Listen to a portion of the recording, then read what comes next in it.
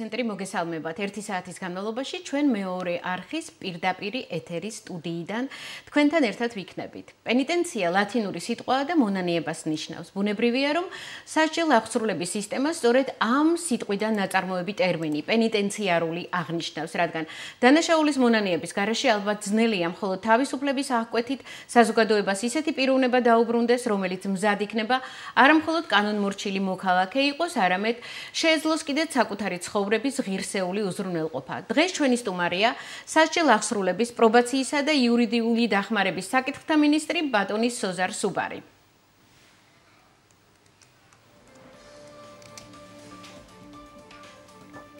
სოზარ სუბარი საქართველოს სასჯელ აღსრულების პრობაციისა და იურიდიული დახმარების საკითხთა მინისტრი. დაიბადა 1964 წლის 4 ნოემბერს. 1985 წელი დაამთავრა თბილისის სახელმწიფო უნივერსიტეტის ისტორიის ფაკულტეტი. 1995 წელი დაამთავრა თბილისის სასულიერო აკადემიის თეოლოგიის ფაკულტეტი.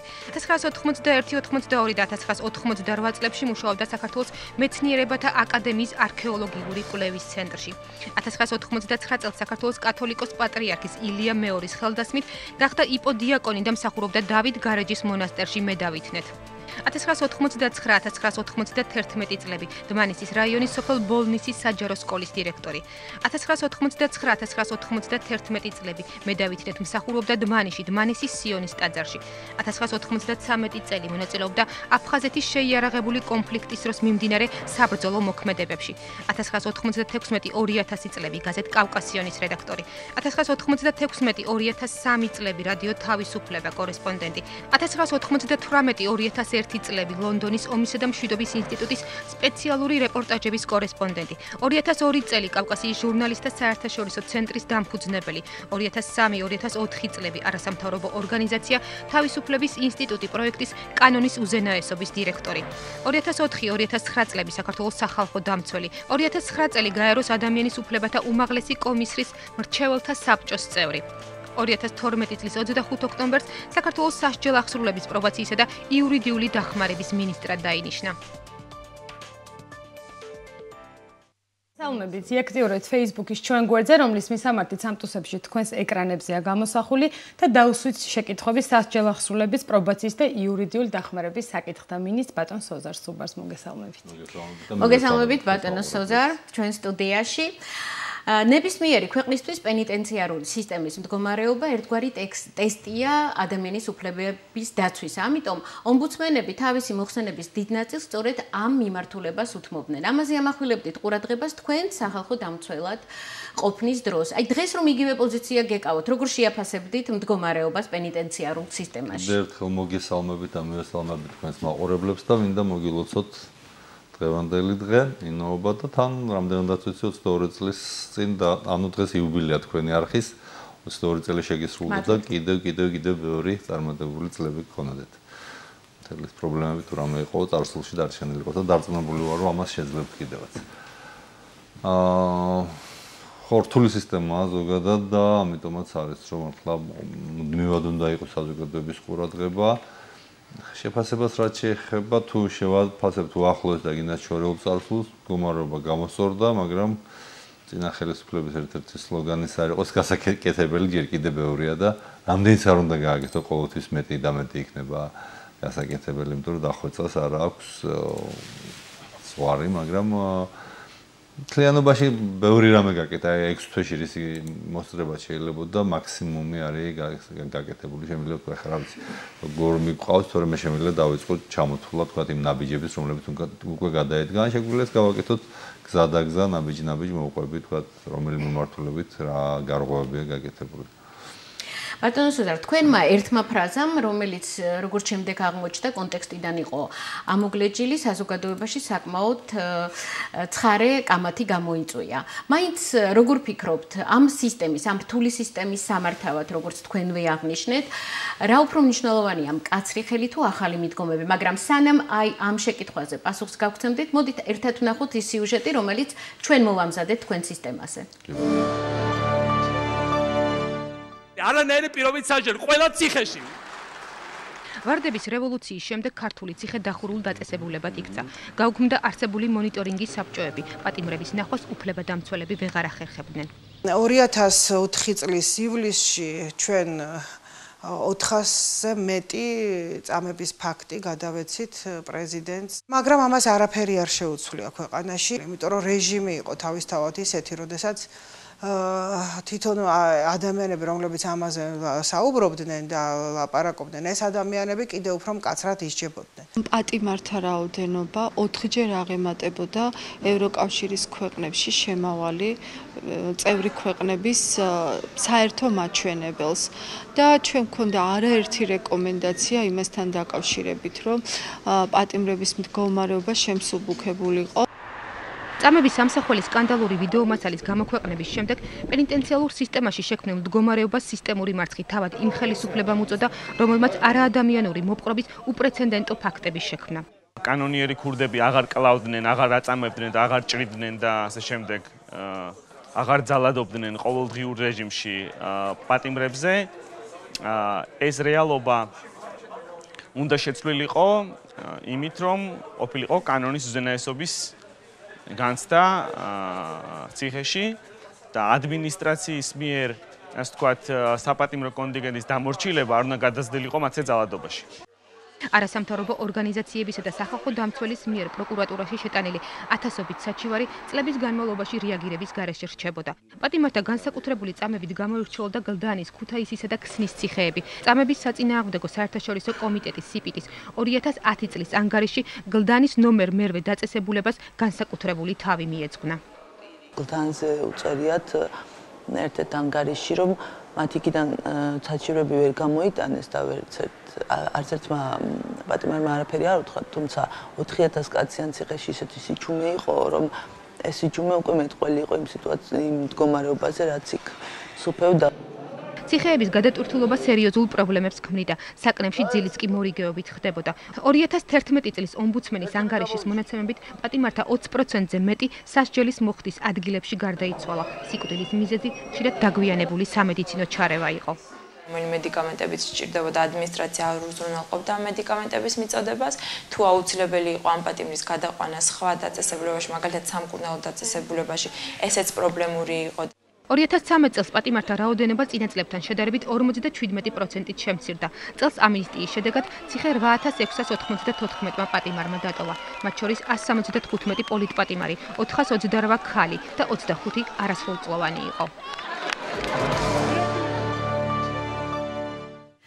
მაშასე კითხვას დაუბრუნდეთ კაცრი ხელი თუ ახალი მიდგომები კარგი კადრი იყო ჯერ ეს ბოლო ეს ნამდვილად მართლა სიმბოლური იყო იმისი რა მოხდა ეს ერთმანეთს არ გამორიცხავს. ახლებური მიდგომები, ლიბერალიზაცია სისტემის, კაცრი ხელი ერთმანეთს არ გამორიცხავს. როგორც ახლა ქვეყანაში უნდა იყოს სისხლის სამართლის კოდექსი, სასამართლო, არის ეკლესია და არის სკოლა და ყველაფერი არის სახელმწიფო და ყველაფერი არის ჩვენი საზოგადოება, ისეა ციხეშიც რა, იქ უნდა იყოს ნორმალური კვებაც, ჯანდაცვაც, სიმკაცრეც, კარცერიც, სპეცრაზმიც და ნორმალური მწახალისების უამრავი ფორმა, როცა ადამიანი ემორჩილება კანონს და კარგად. კი, მაგრამ ეს უნდა იყოს კანონის ფარგლებში. ეს ყველაფერი უნდა იყოს კანონის. ბაჩოს მეთოდები ახსენეთ. კი, რომ ერთ-ერთმა ექსპერტმა თქვა, რომ აი ქურდები აღარ კლავდნენ და აღარ ჩეხავდნენ და აღარ ეს თქვა ეს შეიცვალა თქოს ნაციონალური მოძრაობის დროს და ვერავინ ვერ დააბრალებს გიორგი ტოღოშს რო ეს ზედმეტად კრიტიკულად იყო განწყობილი ყოფილი ხელისუფლების მიმართ. ხო მისი სახალხო დამცველობის დროს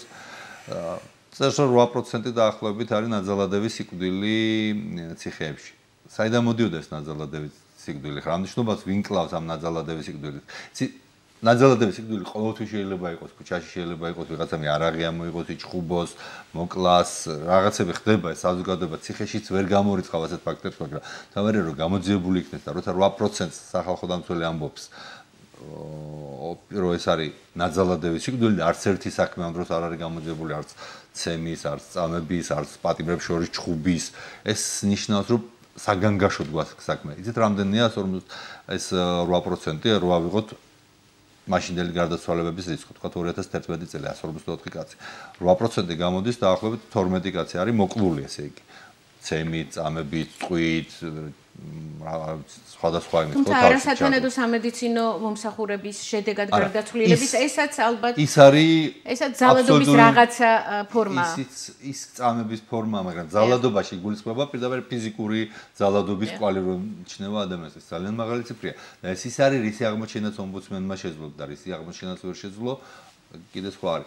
ახლა ზეგან ხალხმა ნათიამნაძემ CPT-ის ანგარიში ახსენა რომ ერთ-ერთი საჩივარი ვერ გამოიტანეს და აა სამარისებული სიჩუმე რომელიც დახვდათ ყველაზე მეტყველი 4000 კაცი ზის ამით მიხვდნენ რა რეჟიმთან კონდაც საქმე მაგრამ მეორე მაგალითს ერთ-ერთი ვიტყვი ახლა ერთ-ერთი პატიმარი რომელიც ამ წუთში ელოდება განსასჯელია და ელოდება სასამართლოს რომელიც სწორედ წამებისთვის არის დაპატიმრებული და ერთ-ერთი მაღალჩინოსანი იყო პენიტენციურ სისტემაში.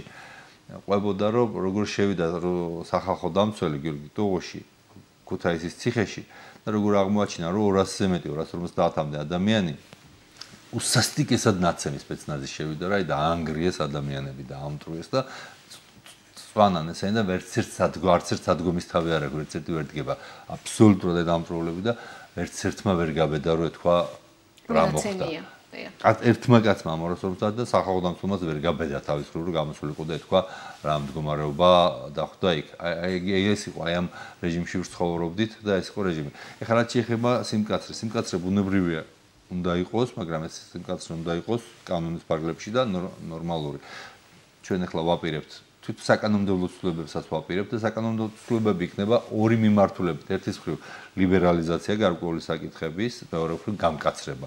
რომ თქვათ, იგივე კანონში რის უფლებას დღეს არ არის, იმის უფლებები მიეცეთ. ადამიანი არ გოს რეჟიმს მოთავსდება ძალიან კაცრი მეთვალყურეობის ციხეში ან შესაძლებელი იქნება მისი შებოჭვა და თქვათ გარკვეული დროის განმავლობაში ის იქნება ხელფეხ ვორკილ დადებული ან ასე შემდეგ. ის როგორც არის ყველა ცივილიზებულ ქვეყანაში. დღეს ეს ყველაფერი კანონში არ არის გათვალისწინებული საკმარისი დოზით და სადაც გათვალისწინებულია, იქაც საშუალებები არ არის. მაგალითად, შემბოჭავი ხალათი ერთიც კი არ დაგხვდა სისტემაში, თქვა ვორკილები პრაქტიკულად არ არის. არა და ამ საჭიროება შეიძლება იყოს და ეს არის ყველა ნორმალურ ქვეყანაში და ეს იქნება ჩვენთანაც.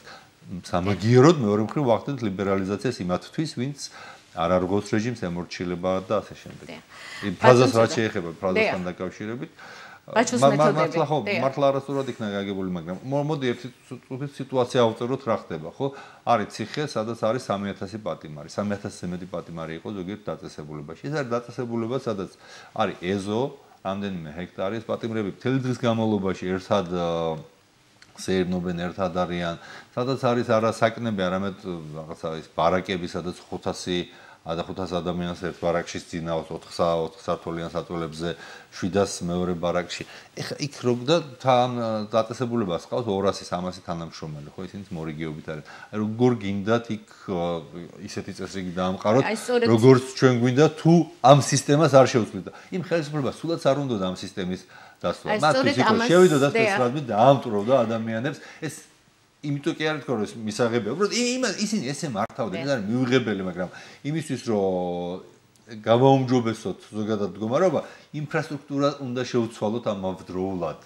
ბატონ სუზარ, რაც არ უნდა ვთქვათ, სასჯელ ახსრულებითი სისტემა საკმაოდ რთული სოციალურ-კულტურული ფენომენია და წლების განმავლობაში აქ მკვიდრდებოდა ერთგვარი სუბკულტურა, რომელიც კრიმინალური გავლენის ქვეშ იყო. ამას ხანდახან ხელისუფლებაც უწყობდა ხელს თუნდაც ეს ქურდული სამყარო როგორც ვიცით სწორედ კომუნისტების დროს რაღაცა პერიოდში სწორედ ხელისუფლების ხელდასმით იყო იქ აღმოცენებული.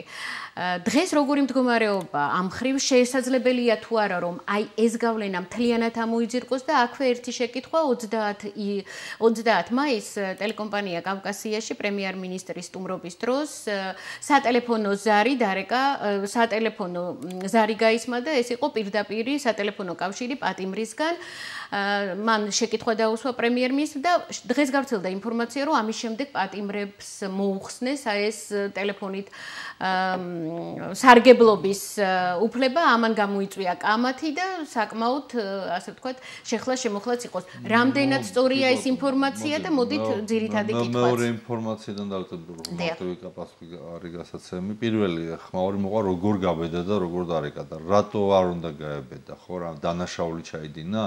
მას აქვს ბარათი, ამ ბარათით მას შეუძლია ტელეფონიდან დარეკვა, მას არავითარ სპეციალური ნებართვა არ არჩიდება, თავარია ტელეფონი იწოდეს ისთან ეკავს და შეუძლია დარეკოს, ხო? ტელეფონი იცის, კავკასიის ტელეფონი, იმიტომ რომ ტელევიზორი აქვს უყურებე და ეს ყოველ წუთში ცხადდება ტელეფონი.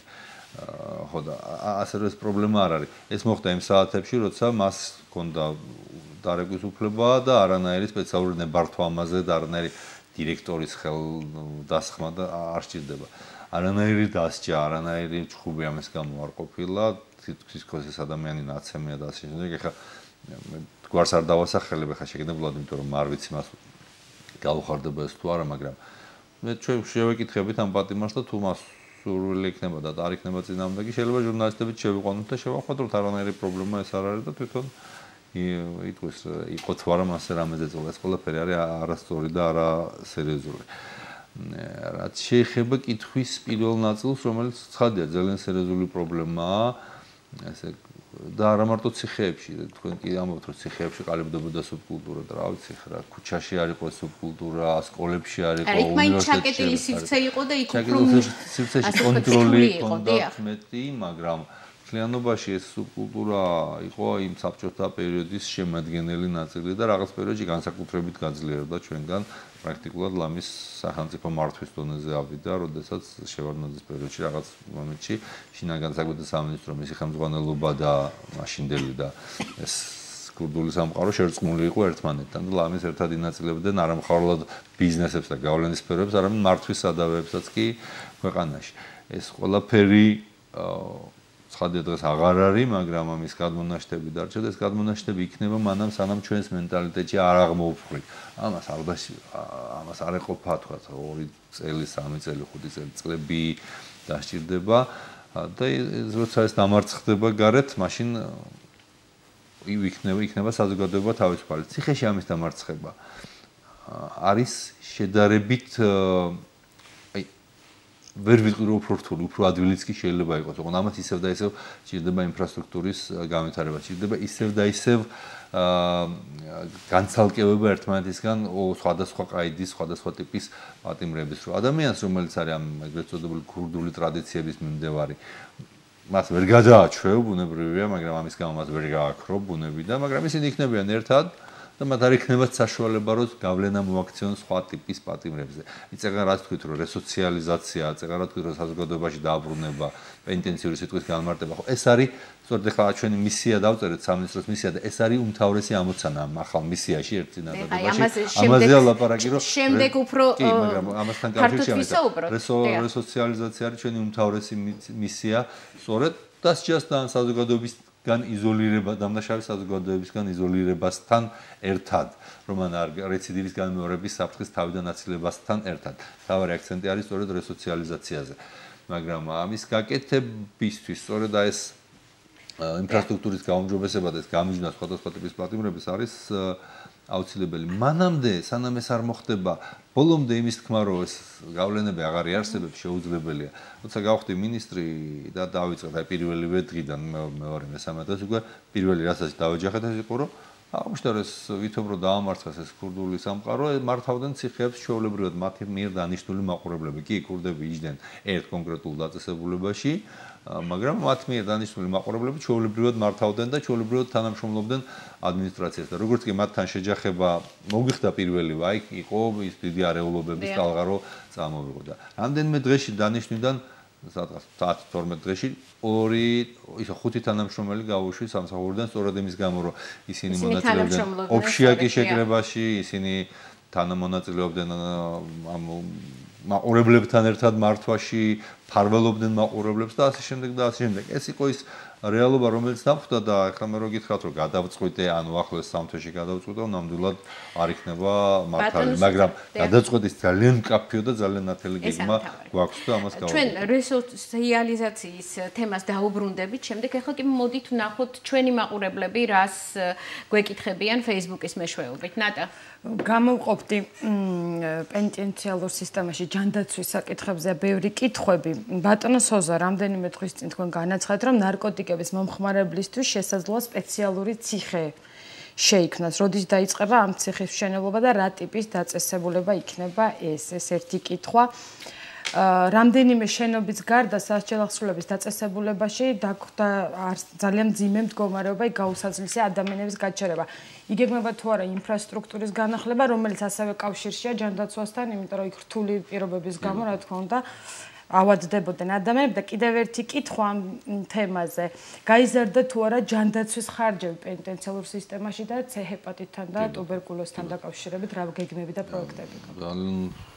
დიდი და ფართო კითხვები, ამიტომ მოდი არ დამავიწყოთ ნარკოტიკი სალკე თემა კიდე დღეს შეხვედრა იყო სხვათა შორის უწყებათა შორის ჯგუფის ნარკოტიკების სამომავლო ნარკოპოლიტიკასთან დაკავშირებით, სადაც ეს ესწრებოდით მე ვიყავი, ჩემი მოადგილე არჩილ თალაკვაძე იყო, შინაგან საქმეთა მინისტრი ირაკლი ღარიბაშვილი და მის სამინისტროს წარმომადგენლები იყო იუსტიციის ministri თეატრო ლუკიანი იყო ჯანდაცვის ministri განათლების ministri და ამ სამუშაო ჯგუფის ფარგლებში მუშაობთ მომავალ სტრატეგიაზე ხედვაზე.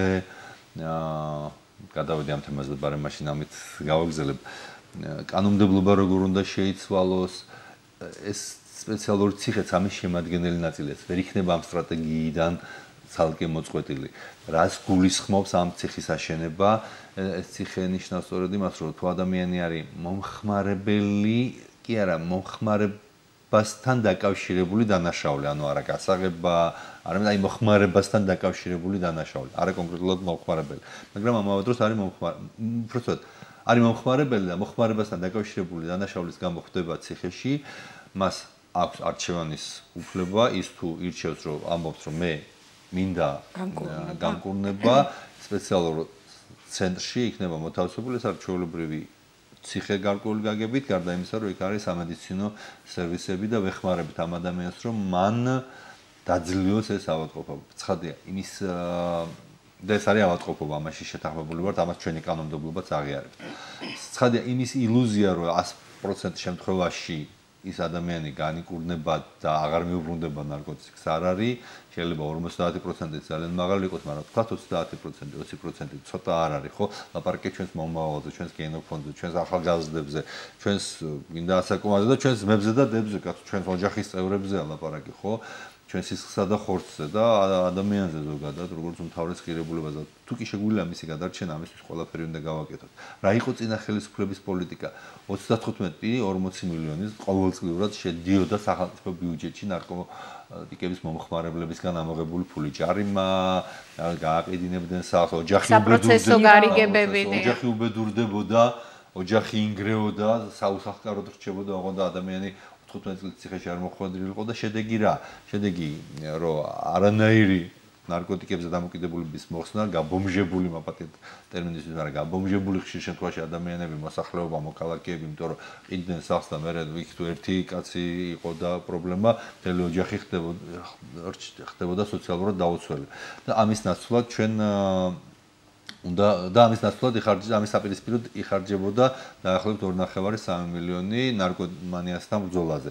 ამაში შედიოდა სოციალური რეკლამაც, რომელიც არ გადიოდა, მაგრამ თქვა თუ იქნებოდა განათლებაც, კურნალობაც და ყველაფერი.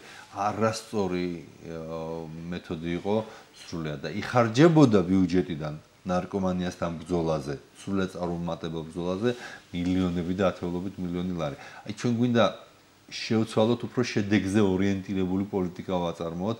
ამ წუთში სანამ ბოლომდე არ არის ჩამოყალიბებული მე დეტალებზე აღარ ვლაპარაკებ, მაგრამ აი ეს ციხე დაწესებულება, სამკურნალო დაწესებულება იქნება ამ ორგანული ნაწილი, აი ამ პოლიტიკის და ამის შემადგენელი ნაწილი.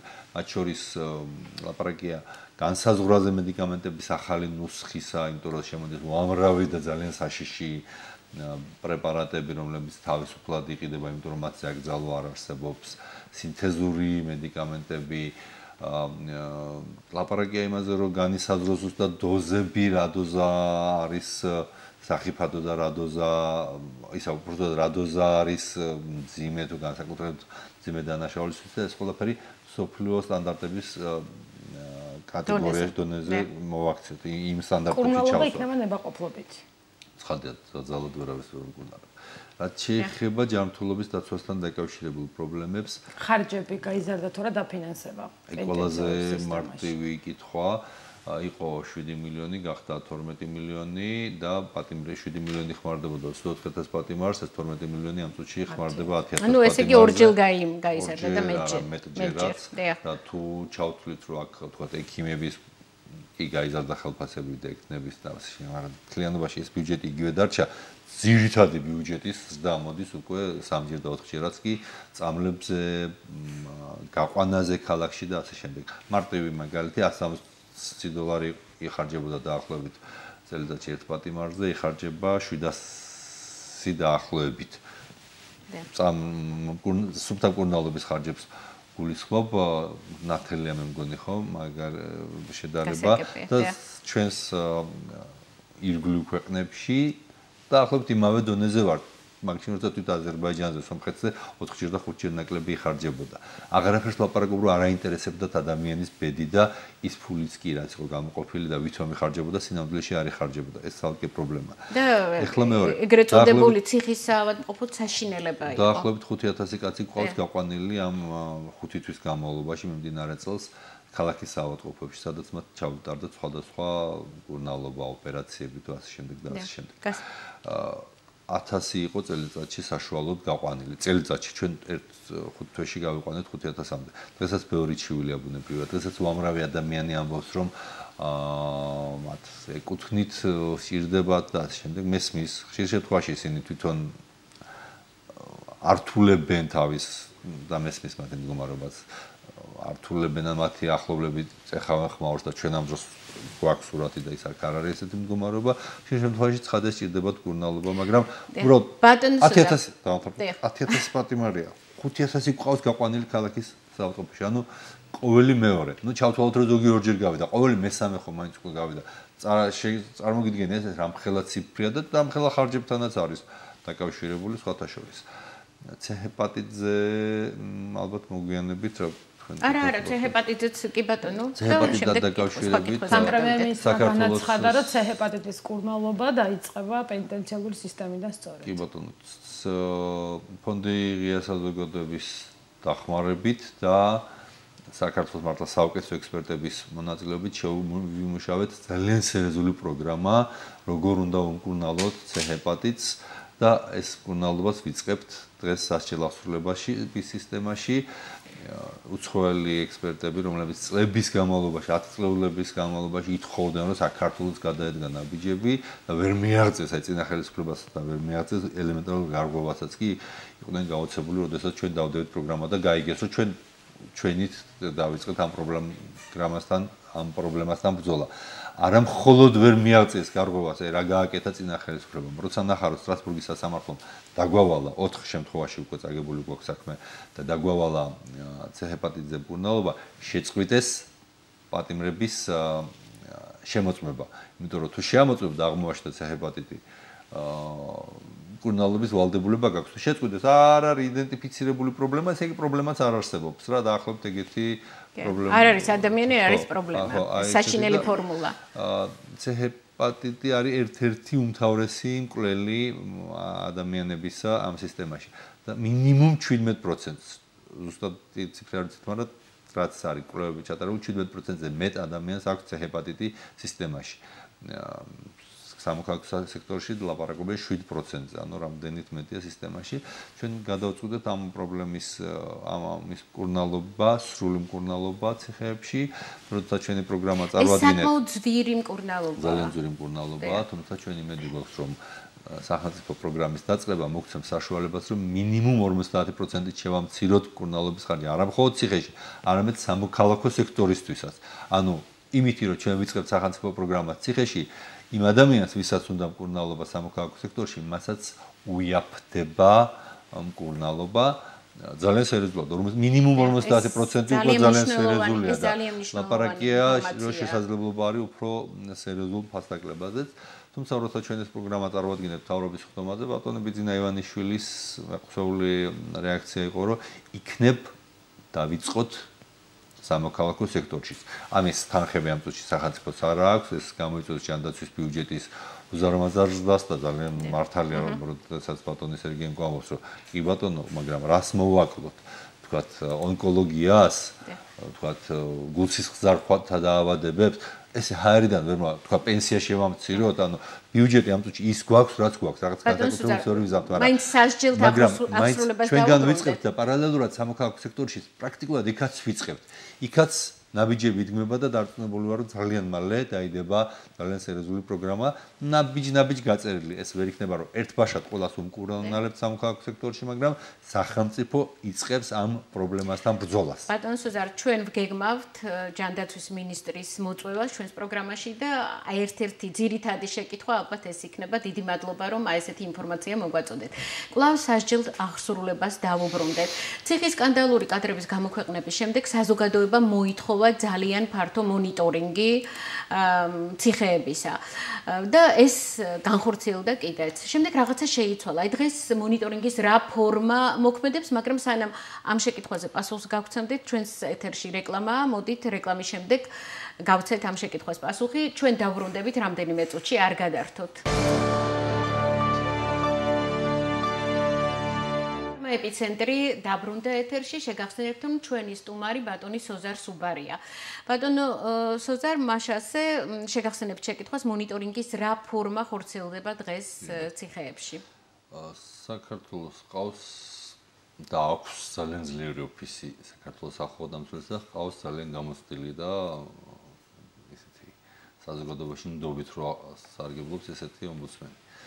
ასე რომ ეს არის მონიტორინგის ერთი ფორმა. მონიტორინგის მეორე ფორმა არის ისევ სახალხო დამცველთან არსებული წამების პრევენციის ეროვნული მექანიზმი, რომელიც გაეროს მექანიზმია, გაეროს წამების საწინააღმდეგო კონვენციიდან გამომდინარეობს და სახალხო დამცველთან არსებობს. პრაქტიკულად ამაში იყო რამდენიმე ადამიანი და ეს არაფერს არ აკეთებდნენ. აი, არ ნუ არაფერს არ აკეთებდნენ, არასწორი ნათქვამია, მაგრამ რამდენიმე ადამიანს ვერ გასცდა და არ არ არ აფართოებდნენ ამ წრეს წინა ხელისუფლების პერიოდში. უმცენს თვითონ არ ქონდა თქობა ამის სრულიად გაფართოებული იყო, უჩანანოაშოვმა ეს გააფართოვა. 24-28 ძალიან მაღალი დონის ექსპერტია შესული. მათი შერჩევა მოხდა არა სახალხო დამცველის პირადი გემოვნების მიხედვით, არამედ სახალხო დამცველთან ერთად არა სამთავრობო ორგანიზაციები და ექსპერტები მონაწილეობდნენ ამ შერჩევის პროცესში და მე მგონი დაწყებული აქვს მუშაობა. ზუსტად არ ვიცი უკვე სახალხო დამცველი როდის დაიწყებენ და რა ინტენსივობით, ამას ახლა სახალხო დამცველი თვითონ განსაზღვრავს. ეს არის სწორი ფორმა მონიტორინგის. ის მონიტორინგი, რომელზეც თქვენ თქვით რომ რაღაც შეიცვალაო, არაფერი არ შეცვლა, უბრალოდ ის ორი თვით შექმნილი, გიორგი ტუღუში იყო მაშინ საცილახსულების ministri მის მიერ ორი თვე გავიდა, ამოეწურა, რატომღაც იყო რომ თვითონ პირველ თებერვლამდე ქონდა თუ არა, მაგრამ ბრძანებაში წერია 1 იანვარი და შესაბამისად 1 იანვარს ამოეწურავა და ამან შეასრულა თავისი როლი რაღაც საწყის ეტაპზე, რომ დადიოდნენ და ინფორმაცია გამოქონდათ, მაგრამ დღეს უკვე საჭიროება არის რომ უფრო მაღალ პროფესიულ დონეზე გაკეთდეს. მონიტორინგი ისეთივე პროფესია, როგორც ჟურნალისტიკა, როგორც პურისხობა, ექიმობა და ასე შემდეგ, ასე რომ ის უნდა აკმაყოფილებდეს გარკვეულ კრიტერიუმებს. ეხლა მე რო დამეწყო ამ კრიტერიუმების ჩამოყალიბება და ხალხის შერჩევა, ხო? რა გამოდის, რომ ჩემს, ჩემი უწყების მონიტორინგს ახორციელებენ ჩემს მიერ შერჩეული ადამიანები და აი სულ საფსოფლო საუკეთესო ექსპერტები რო ყოფილიყვნენ ჩართული, მაინც იქნებოდა კრიტიკა, რომ ჩემი იმით შევარჩიე გემოვნებით და ამიტომაც ეს უნდა განახორციელოს იმან, ვისაც კანონით და კონსტიტუციით აქვს ამის უფლებამოსილება. ეს არის აა სახალხო დამცველი მისი ოფისი და ისინი გააკეთებენ ამას. მაგრამ თქვენ ერთ-ერთ შეკითხვაზე პასუხის გაცემის დროს აღნიშნეთ, რომ აი იმ პატიმართან დაკავშირებით, რომელმაც დაარეკა კავკასიის ეთერში, თუ რომელიმე ჟურნალის ეკნება სურვილი, შეგიძლიათ შეიყვანოთ და აჩვენოთ ეს პატიმარი და ესეთი განსაკუთრებული შემთხვევებიც შესაძლებელია. ესაც ერთგვარი მონიტორინგია. რა თქმა უნდა, ეს ასეთი ინდივიდუალური შემთხვევები შესაძლებელია, ჯერეთი ჟურნალისტები პერიოდულად დადიან ხოლმე გარკვეულ დაწესებულებებში, ხდებიან, მაგრამ ძალიან ვერიდებით ამას, იმიტომ რომ თვითონ პატიმრების აბსოლუტურ უმრავლესობას ეს არ უნდათ. აი ბავშვაში რამდენჯერმე დაუპირდნენ ჟურნალისტები რომ გადაიღებდნენ გარკვეულ ღონისძიებას და არაჩვენებდნენ სახეს და მე იყო ძალიან სერიოზული ნუ ეს ძალიან დიდი ეთიკური გადაცდომა ჟურნალისტების მხრიდან. რომ მიუხედავად ამ დაპირებისა მათი სახეები მაინც ჩანდა და არ უნდა. და ჩვენი კამერა რო შედის რომ რაღაც ღონისძიება გადაიღოს მაშინაც კი ერიდებიან. ახლა გიორგი განათლების მინისტრი გიორგი მარგველაშვილი იყო შეხვდა რაღაც აჩუქრები გადასცა, შეხვდა ესაუბრა არასრულწლოვანებს და იქაც ჰქონდათ პრობლემა რომ აი მოაშორეთ კამერა და ველაპარაკებთ მინისტრთან თუ არა და არა. სხვადასხვა ჩვენ ჩვენ ვერიდებით ამ შემთხვევაში ჩვენ ვერიდებით ამას. ჩვენ გადავიღეთ სიუჟეტი არასრულწლოვანთა კოლონიაში და ჩვენ ყველას დაუპირდით და პირნათლად შევასრულეთ არავის სახე იქ არ იქნება. დაუბრუნდეთ ცეჰეპატიტს დაუბრუნდები ახლა იმიტომ რომ წეგან ბოლომდე რაღაცები გავშალეთ ეს თემა. ცეჰეპატიტთან დაკავშირებით პირველ რიგში უნდა ჩატარდეს კვლევა თელ ქვეყანაში მასშტაბური, რომ იცოდეთ ზუსტად პრობლემის მასშტაბურობა და რა ეტაპზე ვართ, რომ მე დავიწყოთ განსაზღვრა იმ ამოცანების რისი გაკეთება შეგვიძლია და გავწეროთ ეს წლებში თქვა. რას გავაკეთებთ წელს, ну წელს შეიძლება იყოს კვლევა, რას გავაკეთებთ 2014-ში, 15-ში, 17-ში და ასე შემდეგ. ახლა იმის ილუზია, რომ ამას ერთ წელიწადში თუ აურ წელიწადში მეერევა სახელმწიფო არ უნდა გქონდეს, თვით ევროპაშიც კი ძალიან ცოტა სახელმწიფო მე რამდენად საფრანგეთი ასეთი და შეიძლება კიდევ ვინმე მე არ ვიცი რომ სადაც სახელმწიფომ თავის თავზე აიღო ამ დაავადების სრული მკურნალობა. გასაგებია ბატონო მე ხო ასეთი შეკითხვა მაქვს. მას შემდეგ რაც თქვენ მინისტრი გახდით, რამდენიმე პატიმარი გარდაიცვალა სასჯელ აღსრულების დაწესებულებებში და განსაკუთრებით რეზონანსული გახდა ეს ბოლო შემთხვევა, ლევან კორდავას შემთხვევა, იმიტომ რომ თქვენმა უצებამ ორი ურთიერთ გამომრიცხავი ვერსია გააცნო საზოგადოებას ამ პატიმრის გარდაცვალებისა. თუ მიმდინარეობს გამოძიება და აი დღეს რისი თქმა შეგიძლიათ?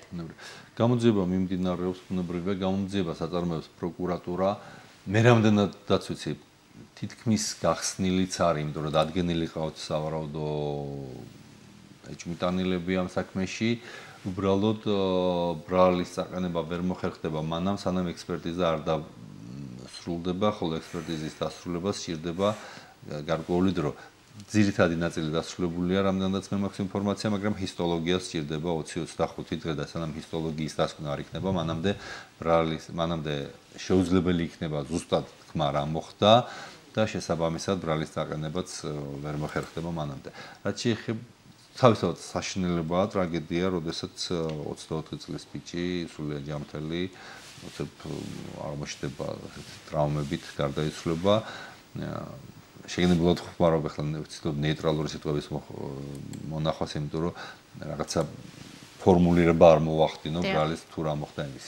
ეხლა რაც მოხდა, რატო მოხდა ამ არასწორი ინფორმაციის გავრცელება, ჩვენ თვითონ გამოვასწორეთ მე პირადად როგორც კი ეს ამ ინფორმაცია მივიღე სააგენტოდან სხვათა შორის გავრცელდა, დავრეკე სასწრაფოდ პრეზიდენტში რა ხდება, რატომ გაკეთდა ასეთი რამე მეც და პრეზიდენტის ხელმძღვანელით დასული ვიყავით საგურამოში სადაც იქ აპრობაციონერები ასოფთავებდნენ ილია ჭავჭავაძის სახელმძღვანელოს და მონაწილეობდით ჩვენ ამ ღონისძიებაში. იქ მივიღეს ინფორმაცია. პრეზიდენტის საბოლოო აღმოჩნდა რომ პრეზიდენტის ბრალიც არ იყო იმიტომ რომ მას დაწესებულებიდან გამოუგზავნეს ეს ინფორმაცია და დაწესებულებიდან მე-15-დან გამოგზავნილი ოფიციალურად ეს დოკუმენტი არის. არა, არა, იმეილით, იმეილით. და ნუ ცნობილია ვინც გამოაგზავნა ყველაფერი, მაგრამ იმან საფუძვლად აიღო ის მოკლევის პირველადი მასალა, როცა თქვათ პატიმრებმა თუ ადამიანთა გარკვეულმა ჯგუფმა სადა ამის შეფუთვა ისეთი თქოს, აი კიბეზე დაგორდა, ფეხი დაოცურდა და ასე შემდეგ. კიდევ კაი, ფეხი დაოცურდა იმ პრესრელისში არ ეწერა, თორე იმ ოფიციალურ ინფორმაციაში ეს იყო.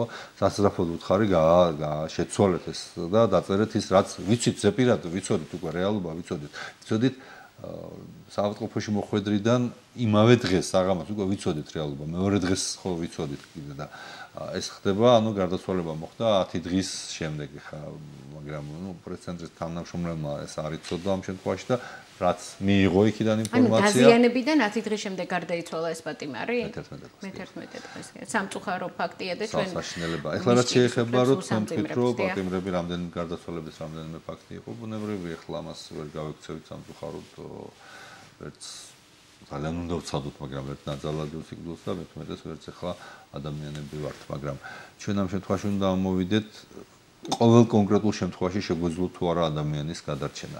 ხა საშუალო ევროპაში საშუალო მაჩვენებელი სიგდილობისა ციხეებში არის 25-დან 26-დან 30 ადამიანამდე. აა ამერიკაში ეს მაჩვენებელი არის 27 26 კაცი. საქართველოში წინა წლებში ეს იყო 65-70 კაცი, ყოველ 10000 კაცი, ანუ ორჯერ და ორნახევარჯერ მეტი ვიდრე საშუალო ამერიკული ან საშუალო ევროპული მაჩვენებელი. ჩვენ შევძელით და ეს მაჩვენებელი ჩამოვიყვანეთ თვეში დაახლოებით 2, ну, საშუალო და 24-25 ადამიანზე ჩამოვიდა ამ წუთის მდგომარეობით, ხა ხო შეიძლება რაღაცა მოხდეს და ეს მაჩვენებელი არა მე ეს კითხვა დავშვი იმიტომ რომ ეს ბოლო რეზონანსული იყო და ეხა ამათ შორის ერთი იყო სუიციდით შემთხვევა. ერთი იყო აი ეს მართლა მკვლელობა უმძიმესი ტრაგედია. ხო აბსოლუტური უმრავლესობა შემთხვევა არის ანუ უფრო ხშირად არის გულსის ძარღვთა დაავადება რომელიც ეხა წინასწარ პროგნოზირება ძნელია სადაც წინასწარ პროგნოზირება შესაძლებელია იქ თითქმის ნოლამდე დავიყვანეთ სიკვდილობის შემთხვევაში. დიდი მადლობა ბატონო სუპარ, მოდით შემდეგ შეკითხვაზე გადავიდეთ. დღეს თქვენს უწყებაში ორი განსაკუთრებული განსასჯელია. მხედველობაში მყავს ყოფილი მაღალჩინოსნები ბაჩანა ახალაია და ივანე მერებაშვილი. ჩვენ ვიცით რომ მერაბიშვილი, აბა რა ვთქვი, მერაბაშვილი ვთქვი უკაცრავად.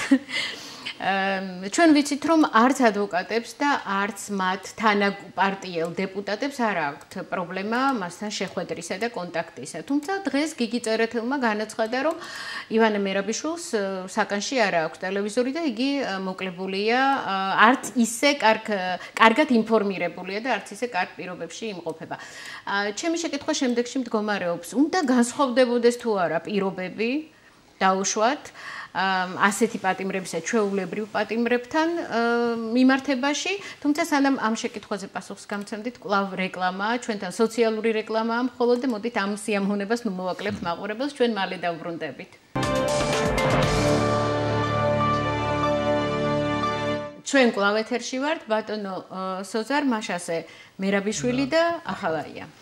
ეხა რაღაცა არასერიოზული ხომ რა საერთოდ ახსენდებოდა თუ არა ვინმე პატიმარი იყო ამ ქვეყანაში იგივე გიგი წერეთ რა ტელევიზორზე ლაპარაკი ხა. მე მართლა მეგონა რომ ტელევიზორი ექნებოდა უკვე იმიტომ რომ არ უგზავნოთ მაგრამ ვინმე პატიმარს მიუსჩილს ტელევიზორი ქონდა მათ პერიოდში რატომ გონიათ რომ ეხა სხვა მიდგომებით უნდა ვიყოთ. ხო ჩვენ ეს ჩვენ კი გვაქვს სხვა მიდგომები მაგრამ მაშინ რატო არ ამბობდა რომ ეს მიდგომები ყოფილიყო? მაშინ რა არ იყვნენ ჯერტი თანამდებობის პირი და არა თანამდებობის პირი რატო უნდა იყოს ხო ყოფილი განსხვავებულ მდგომარეობაში და მეორეც მაშინაც უკვე ყოფილი თანამდებობის პირები მათივე გუნდის წევრები თქვა იგივე ოქროაშვილი როცა იყო და პატიმრებული რა დაუდგეს ტელეფონი და წუხდა ესე ძალიან რომ რა ქვია თურმე არ არის ინფორმირებული. თუ რა არის ეს ორმაგი სტანდარტები? როგორ არ არცხენიათ ახლა რომ ეგეთ რამეებს ამბობენ და ეგეთ რაღაცებზე ჩივიან? თორე ხა თვითონ ის ტელევიზორი აქვს თუ არა მართლა არ არის პრობლემა.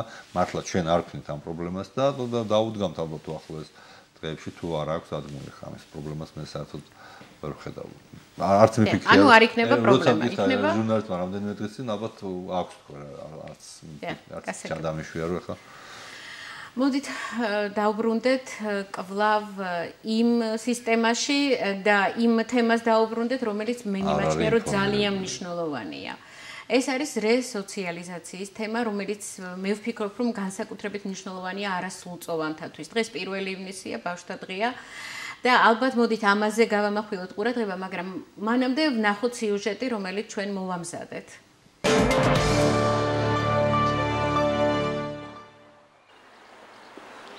აკჭალის ნომერ 11 კოლონიაში 47 არასრულწლოვანია. მათი უმეტესობა მსჯავს მძიმე დანაშაულისთვის იხდის. ყველაზე პატარა აქ 14 წლისაა.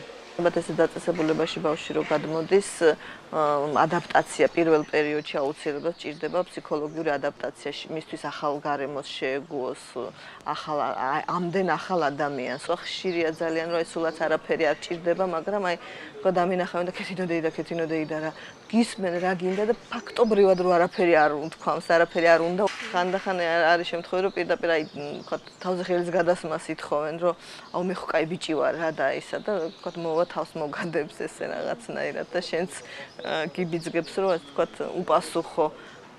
ავჭალის კოლონიაში არსებული სკოლა თბილისის 123 საჯარო სკოლის ნაწილია. მოზარდის ატესტატში არ აღინიშნება, რომ მან განათლება სასჯელახსრულების სისტემაში მიიღო. ესენი არიან ის ბავშვები, რომლებიც პირიქით ჩვენგან მასწავლებლებისაგან მეტ ყურადღებას მოითხოვენ. ამდენიმე არ მიფიქრია ვიზუალურ მასალაზე. მე ვცდილობ, რომ არა მარტო საუბარი, არამედ ვიზუალური მასალა პრაქტიკულის მაგალითებით გამოვიწვიო მათში ინტერესი. დაწესებულებაში ფუნქციონირებს სხვადასხვა სახის პროფესიული გადამზადების კურსები. არასრულწლოვანები აქტიურად არიან დაკავებული სპორტით.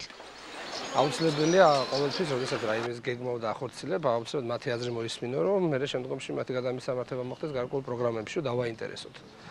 ჩვენ ახლა ყოველდღიურად ჩვენ თვითონაც ვართ ხოლმე ჩართული სხვა სპორტულ ღონისძიებებში, ადმინისტრაცია ბავშვებთან ვეთამაშებით ხოლმე. მნიშვნელოვნად გაუმჯობესდა ვადაციადრე განთავისუფლების სისტემა. გადაწყვეტილებას ამის თაობაზე ადგილობრივი საბჭოები იღებენ, რომლებიც მუდმივი ინდივიდუალური დაკვირვების ქვეშ ამყოფებენ არასრულწლოვანს. ეს მუშაობა გულისხმობს ბრაზის მართვას, ახალი უნარებით აღჭურვას, მოზარდების. ასევე გვაქვს ინტელექტუალური შეხვედრები, რომლის ფარგლებშიც ხდება ხოლმე თამბაქოზე, ნარკოტიკულ ნივთიერებებზე და სხვა ბევრ მოზარდებისთვის საინტერესო თემებზე შეხვედრა. არასრულწლოვან პატიმრებზე ზრუნვა ციხის დატოვების შემდეგაც ხდება ექვთვიანი პროგრამის სრული კურსი, მათ რეაბილიტაციასა და საზოგადოებაში სრულყოფილ წევრებად დაბრუნებას ითვალისწინებს.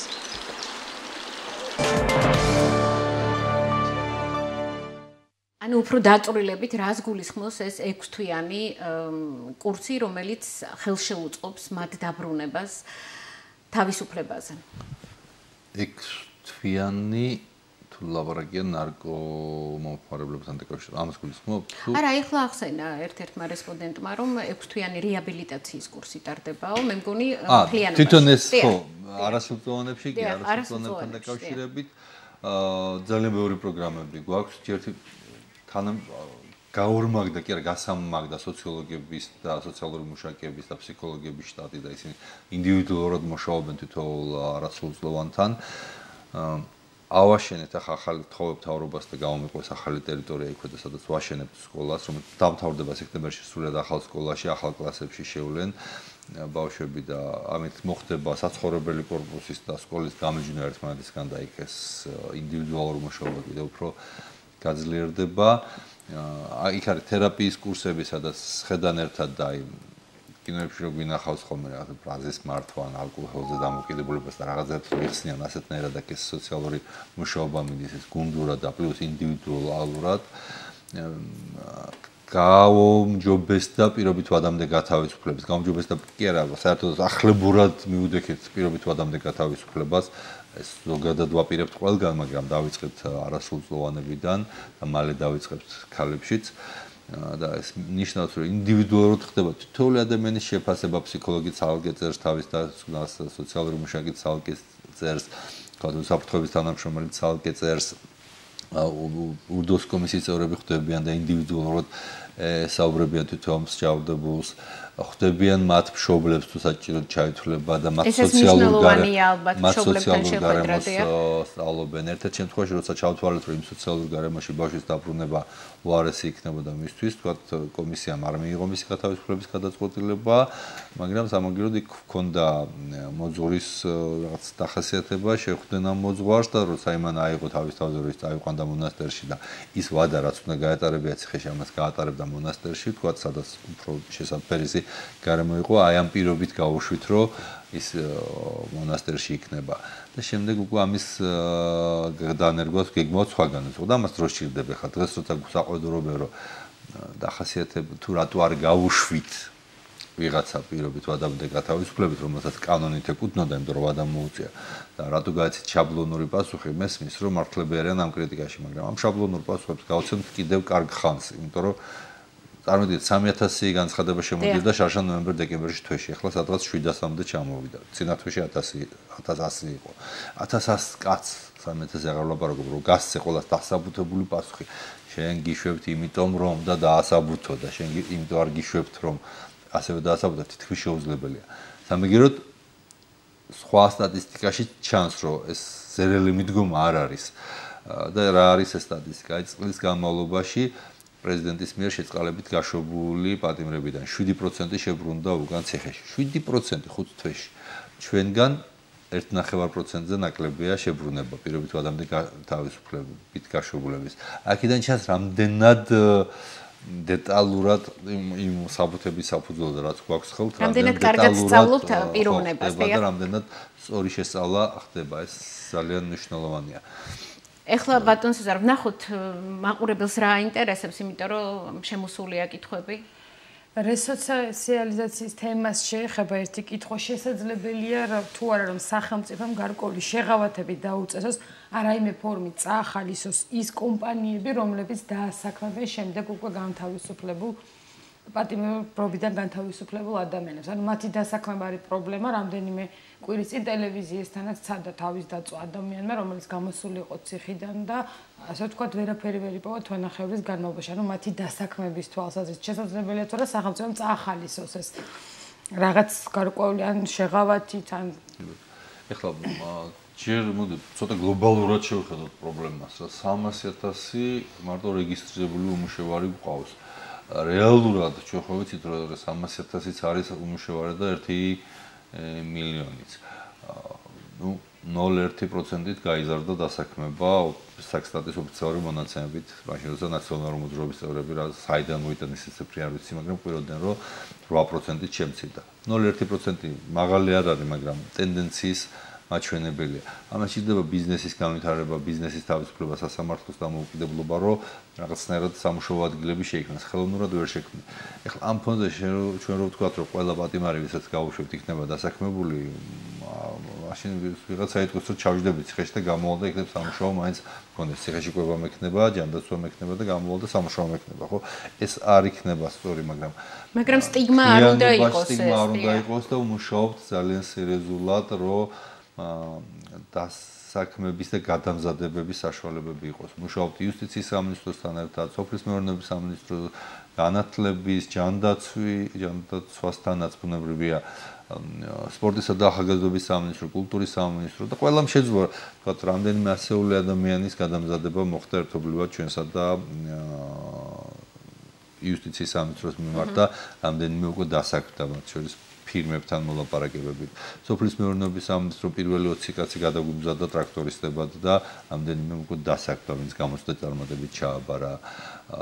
იგივე ხდება ყველა მიმართულებით, მაგრამ ამაში სამოქალაქო ჩართულობა არის უფრო მეტი საჭირო, მარტო სახელმწიფო ამას ვერ გააკეთებს. ეგ ერთი.